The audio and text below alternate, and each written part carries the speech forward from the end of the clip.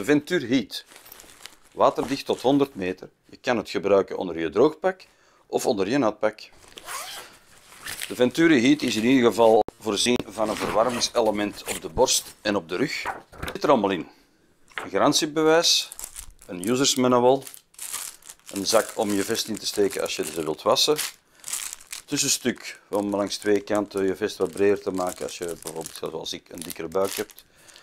Siliconen vet om de oorringen in te vetten van je batterijenpakken. Batterijpakken die trouwens 11,1 eh, volt geven, elks eh, waterdicht zijn uiteraard, en 5000 milliampère. De ontvanger zit aan de voorkant, beter dan dat eh, vorige model toen van de concurrent die er niet meer is. Dan zat het op de achterkant en als je dan in de zetel van je auto zat, dan zat dat tegen je te drukken. Het kan ook heel gemakkelijk aan, of heel gemakkelijker dan die voorganger, want er zit een ritsluiting opzij. Er zit ook een tussenstuk dat het werkt en langs deze zijde kan je dus een extra tussenstuk steken voor als je dikke buik hebt. De batterijpak gaan hierin. Er zit een venstertje in, omdat op de batterij een aanduiding is of dat ze aanstaat en hoe vol dat ze is. Zodanig dat, je moet ze ook eerst aanzetten voordat je ze gaat gebruiken. Dus dan kan je zien, oei, staat ze wel aan of staat ze niet aan. Dat je niet voor verrassingen komt staan, te staan voordat je je droogpak dicht ritst en te water gaat. De kwaliteit is opmerkelijk sterk. Echt degelijk materiaal. Ik steek het tussenstuk ertussen, dat is voor mij wel nodig. Eh, de maatvoering zijn Amerikaanse maten. Ik heb normaal een large. Ik heb in dit model een medium gepakt, omdat de large een beetje los zat. Je kunt beter de medium pakken en daar het uh, tussenstuk tussen steken. Dat trouwens ook nog extra rekt. De kabel om de USB-lader te chargeren, die is uh, voorzien van een USB-aansluiting of, of kunt een USB-C gebruiken. Klik hierin, ik heb de USB nu nodig. Ik sluit hem hier al aan. En de aan de kant is ook USB-C, die ga je in de lader.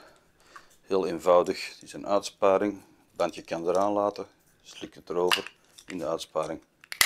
Klik, hij is trouwens vol. Je zet het batterijpak aan door op de schakeler te drukken.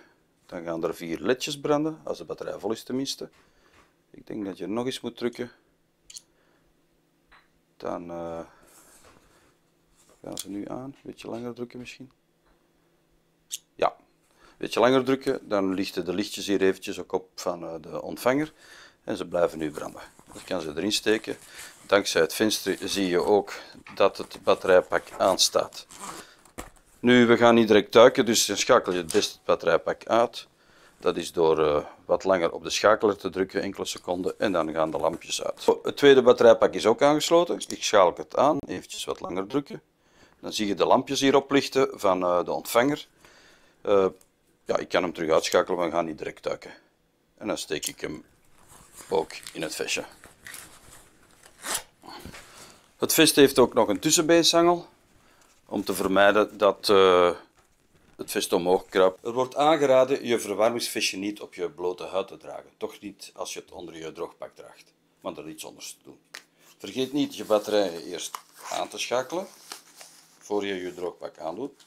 Even wat langer drukken. Dan zie je de blauwe lichtjes branden. Ook het andere.